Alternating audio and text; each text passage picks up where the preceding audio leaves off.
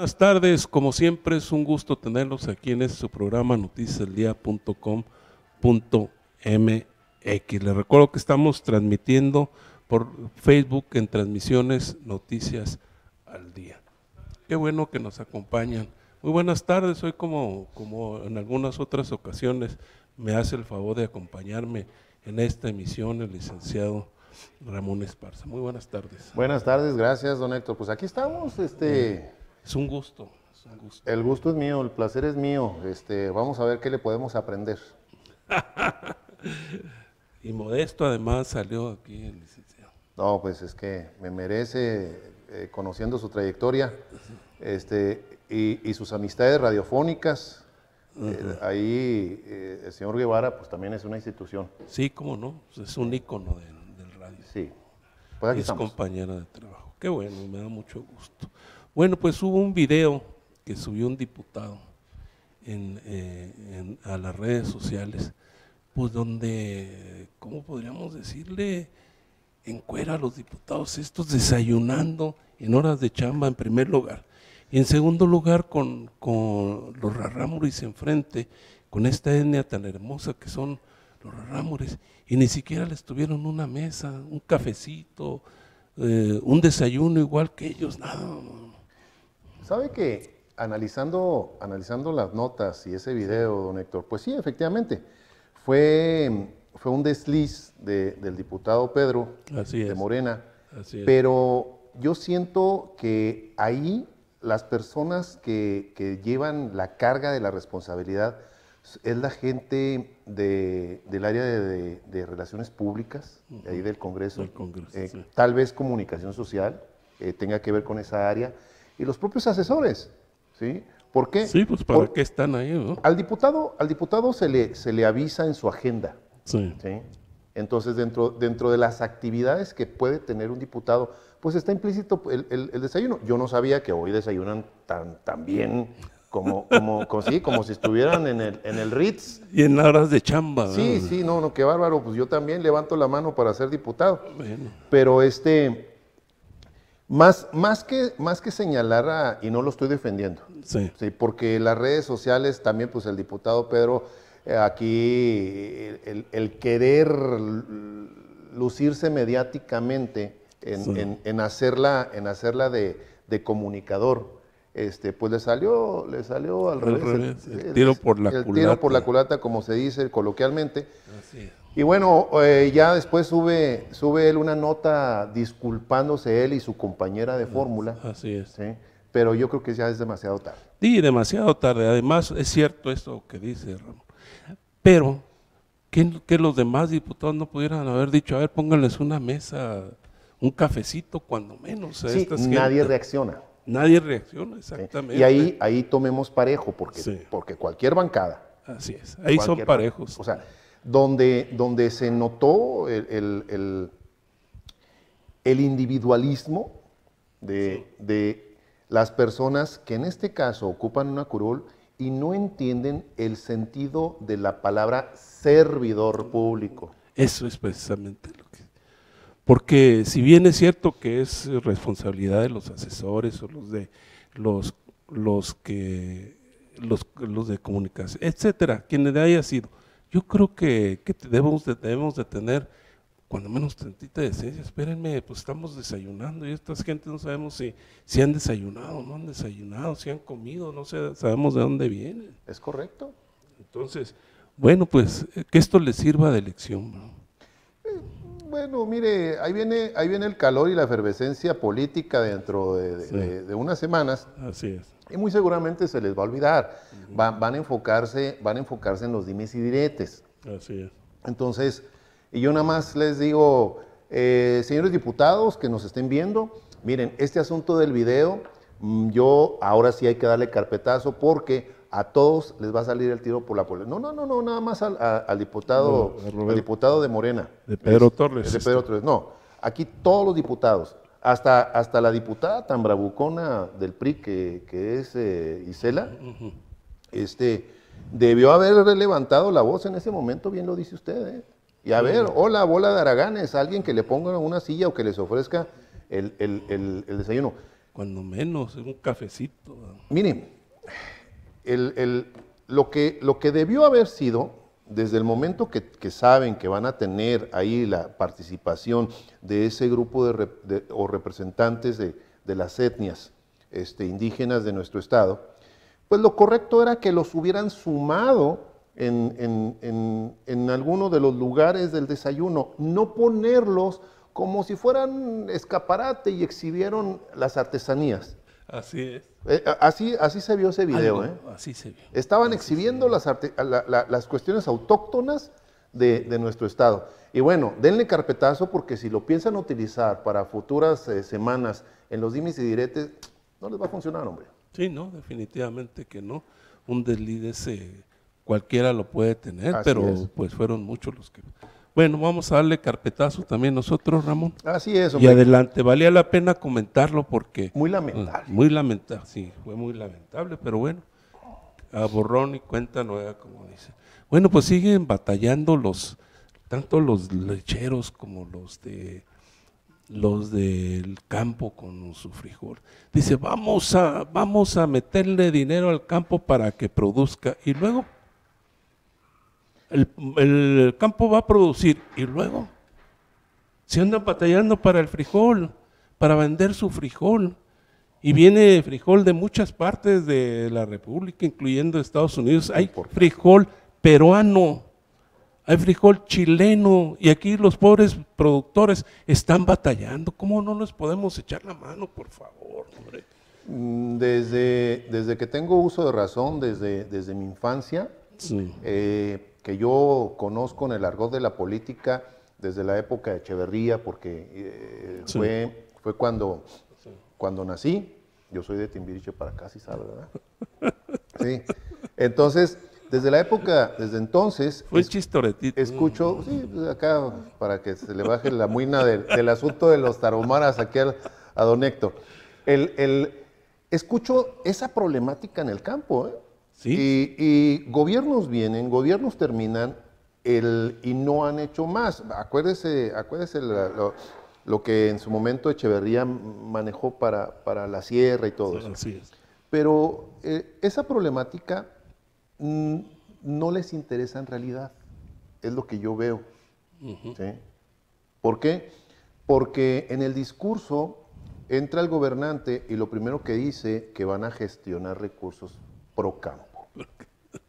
Sí, vamos ahora sí a meterle dinero, dinero al campo. Así es. Hubo en, en- en tiempos antes de, de Ernesto Cedillo, había, había un precio de garantía para el maíz, para el frijol, había tiendas, Diconsa creo que se llamaban, y Liconza y después le cambiaron a Diconza. a Diconsa. Entonces, pues esto llegó, llegaron y le cambiaron.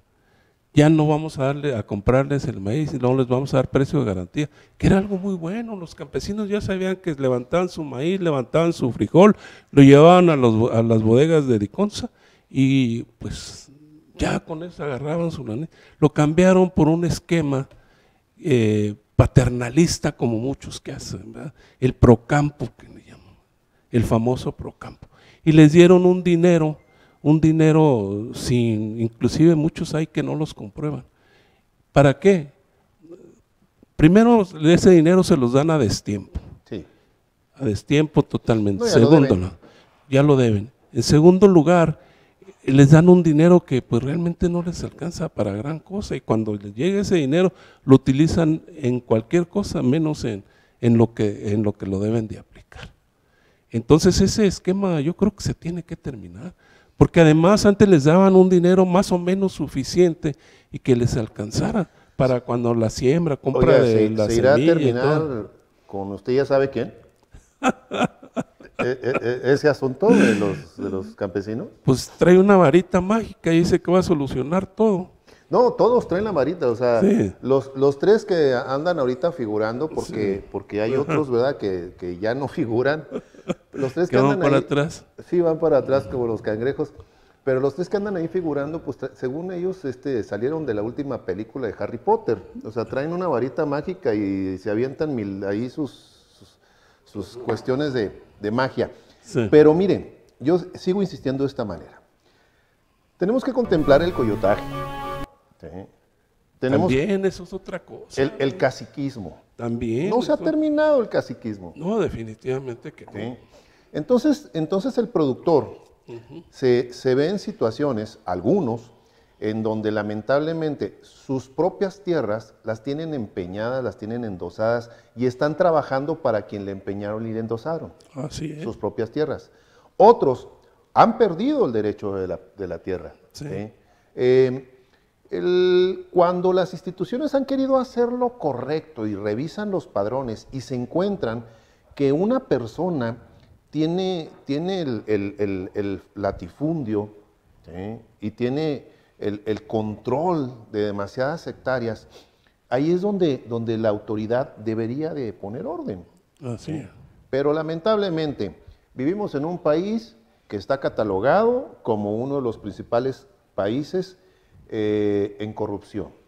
Definitivamente. Con lana baila el perro. Así Entonces, este asunto del campo, a mi gusto, no se va a solucionar, no porque no tenga solución, sino porque no tiene la intención de la solución. Definitivamente. Vemos también a los intermediarios, llegan, que son prácticamente los mismos que estamos mencionando, llegan, les compran la producción a precios bajísimos, irrisorios, y luego van a ellos a las centrales de abastos, van a algunas partes y los venden al doble o al triple, y el que trabajó para sacar todo eso es el que menos a veces recupera su dinero. No, porque ya debe, ya debe, lo que está recuperando ya lo debe para la siguiente, la siguiente cosecha. Así es. Hay, hay, hay, productores que, que, tienen diferentes cosechas ya empeñadas. Sí, definitivamente que sí. Y por otro lado, sí hubo una, una temporada precisamente antes de, de estos cambios que, bueno, independientemente de, de que tenían dónde ir a depositar sus productos y que se los pagaran. Había premios, habría premios para que tuviera la mejor siembra. Yo recuerdo que, les daban tractores a algunos familiares de mi esposa, a quien le mando un saludo. Eh, eh, recibían premios por haber logrado muy buenas cosechas. Inclusive, si no lograban las cosechas por alguna causa, pues los, eh, los indemnizaban, tenían su seguro. Se acabó todo esto, se acabó todo esto con, con la corrupción galopante que tenemos en México. Ese es el, ese es el punto, el punto el, crucial aquí llamado la problemática de la que me ponga, no necesariamente de los productores de frijol, eh, también están los lecheros, los cárnicos, los transportistas. El problema es la corrupción. Totalmente. Entonces, el, mientras, mientras nosotros los ciudadanos no ataquemos esa parte, porque también somos corruptos. Definitivamente, para que hayan, se requieren dos. Pues exactamente. esa conveniencia. Es, eh, entonces, el, vea usted las redes sociales, por ejemplo, aquí las personas que en, esos grupos de ventas, el, empieza, empieza la gran mayoría de los grupos de ventas no, no son este, eh, fidedignos en cuanto el origen de eso. Y nosotros andamos comprando en lo económico o andamos, andamos abaratando. Entonces, no es lógico. Así es. Este, entonces, el, esto, en mi conclusión, don Héctor, con, con, todo el respeto, en mi conclusión, así de, de, tácito, de primera instancia, de bote pronto, no tiene solución. Se va a solucionar desde el momento que señale los nombres, que señalen a, las, a las personas que se están enriqueciendo a costillas del productor. correcto. Y que, eh, que eliminen del productor, ahora sí, no va a ser comercial, pero del productor a la mesa, que eliminen a toda esa lista de pillos. Y entonces sí, el productor va a recibir por, lo que está trabajando, por su esfuerzo, el precio justo, ¿sí? Porque ahorita ponerle el precio justo a todo lo que estamos añadiendo, entonces el, kilo de frijol va, a costar lo mismo que el, kilo de carne. Pudiese ser. Porque también vemos a los manzaneros. Tenemos una de las mejores manzanas del país. ¿De exportación? de exportación, totalmente. Sin embargo, vemos a los manzaneros batallando igual, pero va uno a un supermercado y ve las manzanas americanas, esas que vienen hasta enceradas y todo esto. Pintadas. Pintadas. Y, y vamos y, bueno, yo no compro de esas, pero van y compran manzana americana. Los supermercados, aquí en México, cuando menos los supermercados que se supone que son, que son mexicanos, pues deberían de, de, de vender la manzana del Estado, ayudar a los productores también.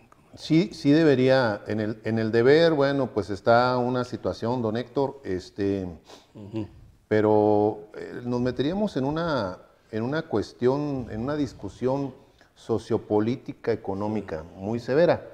El, aquí nada más eh, retomando la nota anterior, espero que los diputados dejen, dejen de, de andar con dimes y diretes por un desayuno y que se pongan a ver una problemática que es a futuro, en este caso de, de, la gente que tiene a bien producir para que haya alimentos en nuestra mesa. Así es. Sí. Quiero mandar unos saludos a, a, don Federico Guevara, maestro. Eh, hombre, qué bárbaro. Un, sal, un saludote a don sí. Jorge Orona Tello, maestro también, a Laco Salais, a doña Betty Duarte, hombre, qué gusto que nos da que nos estén, que nos estén viendo. Lupita Bernal de la familia, también, también se vale, también se vale. Y hay algunas, está doña Lourdes Treviso de Beca Treviso, a quien hemos invitado al programa y uno de estos nos dijo que por aquí pudiera estar. Bueno, pues hubo otra, otra masacre aquí en, saliendo a Cuauhtémoc, tristeza. A nosotros casi no nos gusta dar esas noticias, pero tenemos que mencionar cuando menos qué es lo que está pasando. Porque eh, la, la la inseguridad sigue a todo lo que da. La inseguridad está ahí. ¿Cómo que no sabe que era un, que era un, que era un, eh, ¿cómo le? Clandestino. Un, clandestino. Un, un, este, un palenque clandestino. Un palenque clandestino. Sí, Pero allá afuera dice el video, Gallero. No, y el, el, el anuncio y, y, este, y las instalaciones este, bien hechas. Bien hechas. Entonces, no puede ser tan clandestino. Estos tenían permiso de, la, de las autoridades. Entonces no nos, uh, caray, no nos hagamos tarugos, ¿verdad? Ya fueron los clausuraron, están clausurando otros, pero Después sigue. de ahogado el niño. De ahogado el niño, ahí vemos en, en, en, algunos bares que ha habido, que ha habido también masacres, llegan y matan y a los tres, al mes ya están abiertos nuevamente. Sí, acaban de asesinar a una, a una dama. Así es.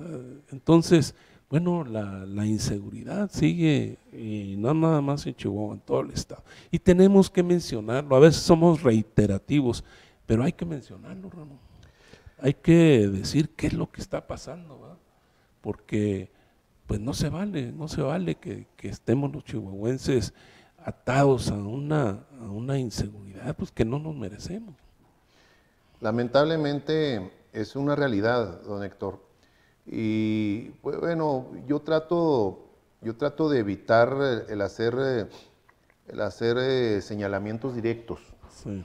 De, en cuestión a, a, de quién es la responsabilidad. Sí.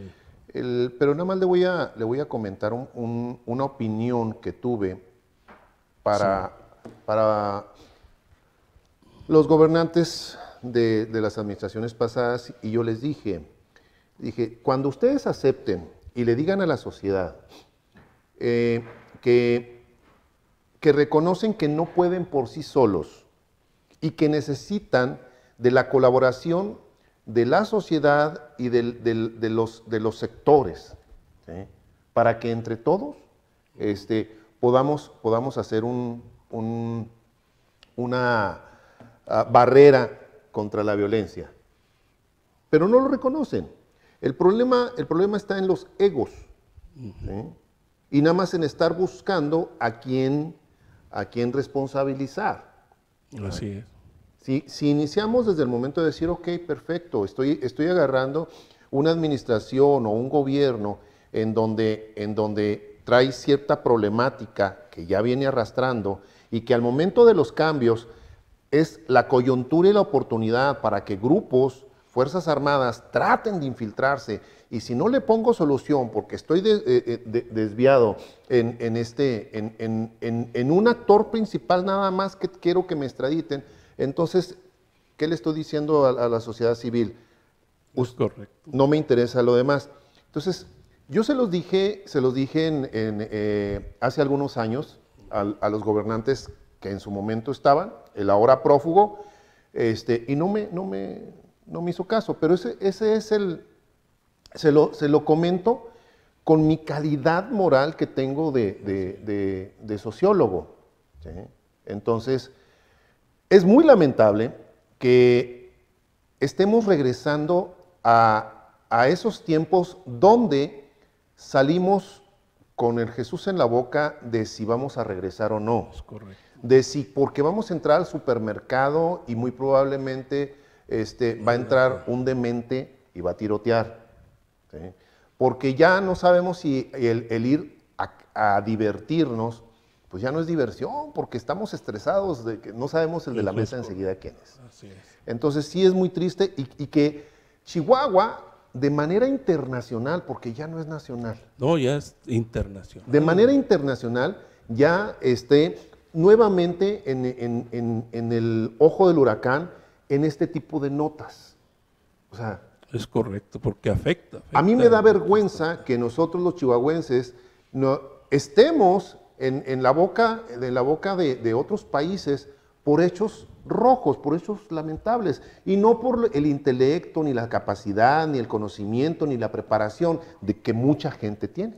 Eso es correcto, porque ¿qué pasa en los periódicos a nivel nacional? Hoy veía un periódico eh, a nivel nacional que decía, en Chihuahua cinco decapita- decapitados y los En fueron Huachochi. Pero dicen en Chihuahua, En Chihuahua. no dicen Huachochi, dicen en Chihuahua cinco decapitados fueron, los entregaron a una funeraria. Así es. O sea, eh, pues eso afecta a todos los chihuahuenses.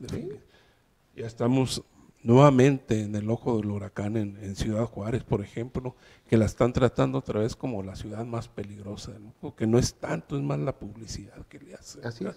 Pero sin embargo, bueno, pues ahí estamos. Pero bueno, vamos a hablar de otra cosa. Espero Sí. que traiga algo más alegre porque ya lleva dos, oiga. Quiero mandarle un saludo también a mi querido doctor Vía de Veras, el doctor Fausto Cavazos, a David Suani también lo está viendo, Sí. el arquitecto Bernal Ruiz, Edgar Madrid lo está viendo desde allá, desde muy lejos, él está allá por allá por Tijuana. Un saludo Ah, un saludo. allá por Tijuana. Bueno, pues, pues ya, ya se están alistando algunos, algunos diputados para la reelección. Ya en el Partido Acción Nacional, pues ya saben quiénes, ya dijeron quiénes se van a reelegir. Ah, bueno, ¿quiénes pretenden, la reelección? Pretenden la reelección. Sí, porque de que se van a sí. reelegir, quién sabe, ¿verdad? La, Bueno. la ciudadanía es quien define eso. No se vale corregir. ¿eh? pues bueno, No, muy bien, muy bien corregir. Es cierto, los que van a buscar la reelección. Así es. Eso es correcto, Ron. Entonces, bueno, pues, ¿qué va a pasar ahora? ¿Van a descuidar un poco sus labores por estar buscando la reelección o qué es lo que va a pasar? Bueno, se supone que para eso tienen un suplente y que cuando, cuando un partido político piensa en, en el registro de las personas que habrá de, de representar, pues obviamente la bandera del partido y después a la ciudadanía. Este, al hacer la fórmula de tener un suplente, el suplente pues debe de tener cierta, cierto conocimiento y preparación para que en el Es caso correcto. como el que se viene en futuras semanas, el suplente entre y pueda darle continuidad ¿sí? a, a lo que el, el titular estuvo haciendo. Sí, definitivamente. Pero sobre esto que dice, hay diputados, y hay que mencionarlo, que no tienen la capacidad para estar ahí, desconocen leyes y desconocen muchas cosas. Y si entra el, el- el- el suplente y que tenga los mismos conocimientos, bueno, pues está difícil, ¿no? Bueno, pues no, no cualquiera es don Saúl González, no cualquiera. O sea, este, esperemos, ¿verdad?, que, que los partidos pensaran en eso. Y sí, la- miren, eh, ¿qué podemos esperar? Podemos esperar que se frene, que, que no haya iniciativas, que el país entre eh, en más caos del que está en, en el momento. ¿Por qué? Porque a- al no haber, al no haber un, un Congreso que esté funcionando, entonces los poderes se van, se van a relajar. Definitivamente. Entonces, eso es lo que vamos a ver. Sin embargo, yo le puedo decir, bueno, en, para mi gusto, la, figura de la reelección, eh, yo, sí, yo sí concuerdo con ellos porque se necesita de más tiempo para poder realizar. No, eso es correcto también. Buenas obras. O, en este caso, en el efecto de la legislación, muchas, muchas de, las, de las iniciativas se quedan ahí porque no les dio el tiempo suficiente. Entonces, pueden apuntalarla, pueden sacar una ley. Eh, y hay algunos diputados, como bien mencionó usted, de que no saben ni qué están haciendo, pero hay otros que merecen, merecen la oportunidad de la reelección. Definitivamente que sí, y es cuando, si un diputado o un senador hizo bien su papel, ¿por qué no reelegirlo? Así es. Así es que, que dure sus otros tres años y que termine, como bien dice, con todos los, los rezagos que hayan quedado de la legislatura anterior. Bueno, pues eh, para esto sí serviría la, las reelecciones. En el caso de las presidencias municipales, igual, ¿verdad? Tres años a veces son insuficientes para terminar la labor que empezaron. Entonces, en estos casos sí se vale. Y si no, si no logran reelegirse es porque el pueblo vio que no actuaron como debió ser.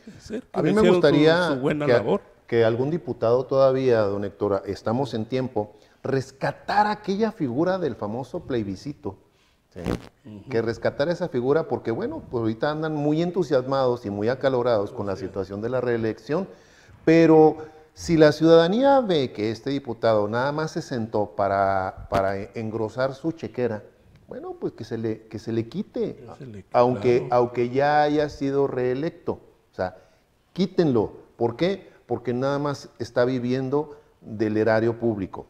La, la, famosa revocación del mandato. La revocación del mandato. Que eso sí, pero no la han metido nunca. Yo no he visto que ningún... Pues no les conviene. no, pues no les conviene. El que hace la ley hace la trampa precisamente. Entonces no les conviene meterla, pero sí debería de haber esta ley. Ya muchos gobernantes hubieran salido si existiera esta ley. Yo por eso, yo por eso siento que este hay que poner ahí en el mezanín del Congreso un fondo musical que vaya na na na na na. na, na, na. Ah, yo creo que por ahí puede funcionar. Puede funcionar. En el mezanín del Congreso. Bueno, venimos. A ver, un saludito, miren, ya me están mandando saludos a mí, ya. Un saludito a, Olga, una excelente dama, preocupada, preocupada por, por, este, por las jovencitas. Y pues no puedo dejar de saludar a mi esposa que nos está viendo. Claro, un saludo, señora. Mi bella esposa, Angie Payares, para que la conozcan. Qué bueno. Este, Puras buenas referencias nos da de usted, señor. Evelyn Galindo nos está viendo desde, pues yo creo que anda por allá por Michoacán. Este, es una adquisición que hicieron los del sur, eh, de aquí del, de Cuauhtémoc para allá. Y continuamos, don Héctor, ¿qué más traemos? David Suani también, ya no sé si ya lo mencionó. Sí, eh, eh, hay que mencionarlo, hombre. no, un buen amigo, mi querido David Suani. bueno, Madero también parece ser que, va a dejar su puesto en el gobierno después. ¿Se le hizo la senaduría? Eh, parece ser que se va a registrar precisamente para, para una senaduría.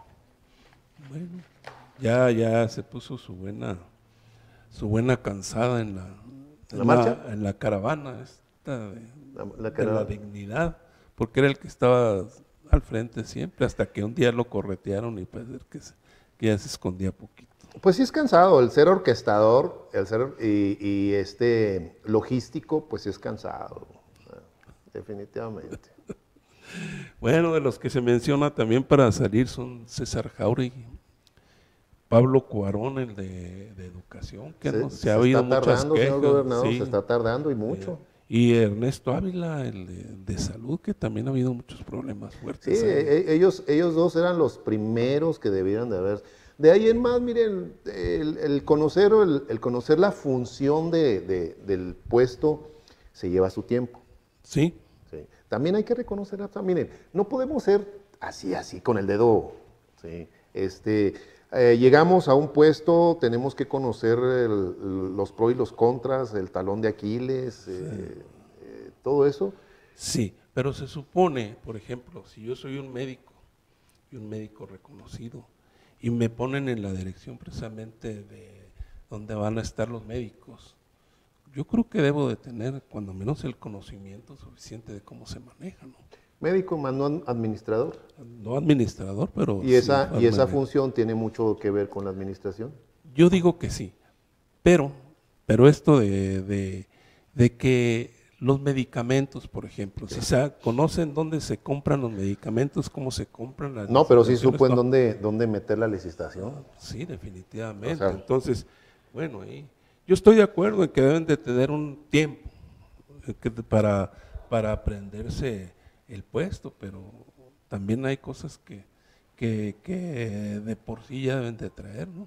Bueno, en el caso del general ya sabemos que él se deja llevar mucho, en el caso del general, o sea, este, el entusiasmo lo, se, lo lleva, se lo arrastra, pero sí, en el, eh, bueno, los cambios aquí sí son necesarios y apremiantes. Y apremiantes, sí. hay muchos que hay muchos, eh, muchos nombramientos que se hicieron con el corazón. Sí. Ah, pues y ahora, bueno, pues se van a topar, el, ya están sufriendo las, las de Caín después de que tanto pugnaron por, por el 50-50, y no estoy hablando de nada, nada que tenga que ver con machismos, pero ya se están dando cuenta que, que, eso los está metiendo en problemas y, y que todo el que aspira este, eh, a la hora de, buscar los escaños, pues tiene que abandonar, eh, tiene que dejar los puestos para poder ocupar.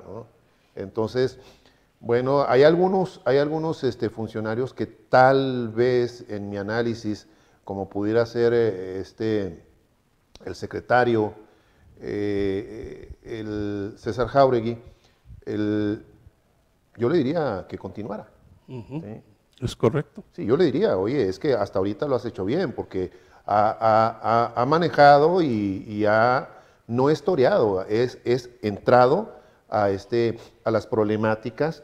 Y, fíjense que es uno de los funcionarios que menos ha sido golpeado por los medios. Bueno, porque como bien dice, ¿verdad? Lo ha hecho bien. Cuando, cuando, cuando no se nota mucho, es que las cosas se están haciendo bien. Entonces, bueno, es, cierto esto, es de los, de los menos golpeados, porque pues, realmente es una de las gentes que sí debería de quedarse. Así es. Estoy de acuerdo también. Bueno, también el, que, dicen, ¿cómo es? Eh, ya saben quién. Ah, sí, es. Ya, dice que van a abrir más refinerías en México, ¿para qué? Para importar menos, menos, menos gasolina. De ¿Y de dónde va a salir la, la inversión para eso? El problema fuerte es que las refinerías en México están fracasando. Van en caída libre. Durante 2017 las refinerías de Pemex procesaron crudo a niveles mínimos. ¿Qué está pasando? La misma corrupción o la incapacidad para llevarlo, para procesar más, más gasolina, todo esto. ¿Cómo se va a hacer eso? Vamos a abrir más, más refinerías, ¿cómo le vamos a hacer? Si las que están no están produciendo lo que debe de ser. Sí, y, volvemos, volvemos, a, un, a un círculo. El, problema de la corrupción, don Héctor, miren, los guachicoleros, eh, ¿cómo, ¿cómo tienen conocimiento de dónde se encuentran los ductos para hacer sus perforaciones. No, y cómo las hacen además. La tecnología que utilizan. Claro, ¿quién los asesora para, para conocer esa, eh, eh, los controles eh, que se requieren para hacer esas, esas perforaciones? Definitivamente. y, poder extraer el, el producto.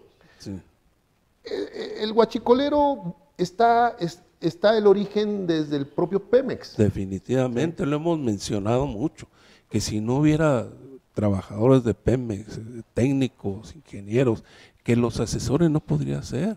No cualquiera se va a aventar a decir, voy a, aquí pasa un ducto, voy a abrirlo y voy a, sacar la, gasolina. Sería interesante saber si a ellos les hacen pruebas de confianza como, como a las corporaciones policíacas. ¿Por qué? Porque manejan, manejan este información confidencial. Sí, privilegiada. Entonces, sería interesante saber si les hacen ese tipo de pruebas de confianza para que el personal que trabaja en Pemex, como, la, en, como en eh, la CFE, que ah, también las fugas eléctricas también tienen mucho que ver, este, y, que, y que pudieran erradicar el, o minimizar, pues. Entonces el, país dejaría de tener tanta fuga de, de producto Y con ello con ello, los diputados federales pudieran apuntalar para que se quite ese impuesto especial que a todos los ciudadanos nos ha lastimado en nuestro bolsillo. Claro, estos, estos gasolinazos no deberían de existir si se tuviera el control precisamente en todo el combustible que se roba. Así es. Todo el guachicol, porque aquí las, las, las refinerías que están procesando un 47%. Hay algunas como la de Ciudad Madero que está un 23%, uh. la de Minatitlán en un 30%. Encontrarse con refinerías de Estados Unidos que, caray, allá trabajan súper.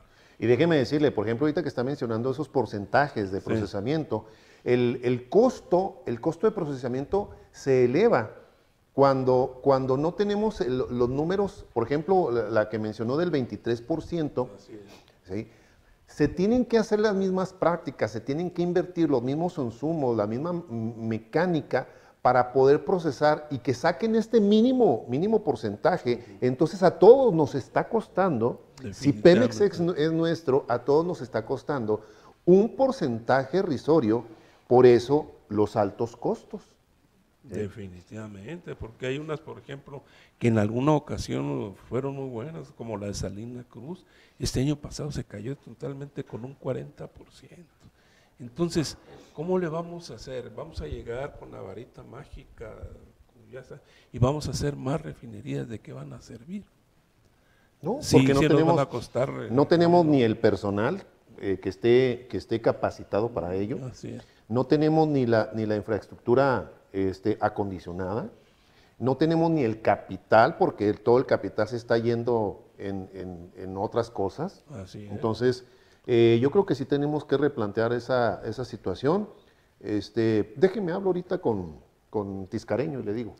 Que él, está muy cerca de ya sabe quién. Bueno, hay que decirle, A él y a muchos de cómo está la situación para que la piensen bien. Bueno, son las notas que traemos ahora, Ramón. Bueno, pues mire, notas no muy favorables. Este, ahora sí que me queda, me queda a deber con, este noticiero, porque sí son, son, notas, son notas que me dejan un mal sabor de boca. Este, eh, me da un panorama en donde nuestro México eh, se avisora en una situación muy complicada y aquellos que dicen que, vamos por el rumbo de Venezuela, ah, miren, es alarmista el decir eso, es alarmista, pero no está, no está descabellado. ¿sí? definitivamente. Si no combatimos la corrupción, si no combatimos la violencia y si no combatimos la fuga de capitales, entonces sí vamos a estar como Venezuela.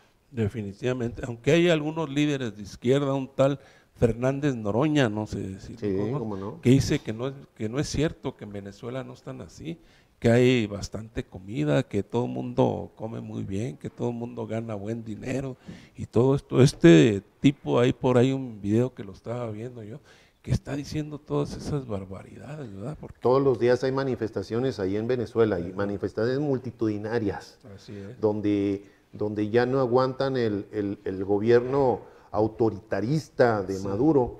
Eh, entonces, pero bueno, no nos queremos meter en asuntos internacionales si no hemos resuelto los de la casa propia. Definitivamente. Yo quisiera así también este, hacer una, pequeña aclaración. Siempre hemos dicho que, que no somos un noticiero. Aquí venimos a comentar las noticias, las noticias que, que se dan en todos los medios de o sea, ya se sacó la espina. en conclusión, de la corrección que le hice, se está, sacando la espina. O sea, de no le puedo ganar ninguna. De ninguna manera, no, no, pues por algo somos amigos. Bueno, está bien. Bueno, vamos, venimos a comentar, a comentar las notas que el día, al día al día se ven. Así es. Este, el acumulado de, jueves a, martes. Así es, definitivamente. Muy bien. Pues, pues, muchas gracias. Al contrario, gracias a usted, gracias por, por este, la invitación. Ya sabe, yo estoy a una sola llamada y agradezco a las personas que, me han mandado saludos. A, Jaime Domínguez, que debe andar por Guadalajara, creo, por allá. A mí, Ye, que nos está viendo. Este, Y bueno, a tantas personas que nos han estado siguiendo. Gracias, le compartan eh, a través de Red Producciones que estamos compartiendo este, este programa. Y de transmisiones, noticias al día. También quiero mandar un saludo a Sergio Rutia, a Sofía Bernal y algunas otras personas. Ahí si se nos fueron algunos, discúlpenos. De cualquier manera, qué bueno que nos están viendo. Los invito para que ahorita a través de Red Producciones vean Formando Campeones, los jóvenes que hablan de fútbol, de los valores que tenemos aquí en Chihuahua. Y a las 8 de la noche, el analista político Gerardo Cortinas Murra en su programa Cultura y Política. Gracias nuevamente, don Héctor. No, al contrario, gracias, Ramón. Y gracias a ustedes por habernos acompañado una vez más. Por favor, cuídense mucho.